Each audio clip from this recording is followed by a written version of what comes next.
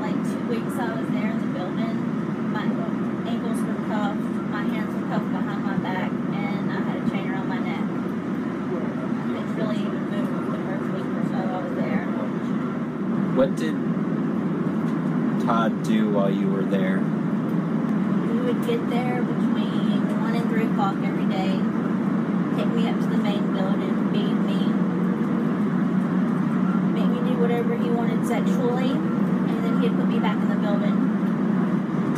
And then he would always come back between 5 and 7, take me back up to the building, feed me again. Most of the time, do whatever, get whatever out of me he wanted sexually again. And I refused to do anything that he wanted.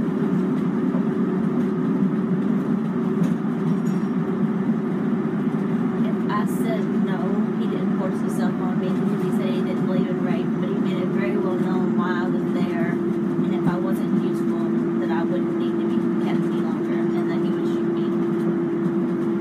Did he ever tell you how many people he's killed out there? Story wise, he told me about four. He also told me that he walked into a few years back that he walked into a bike shop at Anderson and shot four people and left, and they never found out who did it. He liked to brag that he was a serial killer and a mass murderer. He said he was going to kill more people because he had dreams of his body count being in three digits. He said right now it was still high two digits.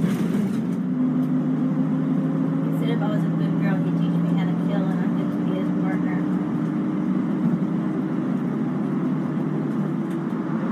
He said he used to kill people for the government. He said he was a paramilitary contractor. And that when he got home, he just couldn't keep from seeing the bad in everybody. Liked killing drug dealers and stuff, but that for some reason he just wanted me and that Charlie was just had to go so he didn't serious.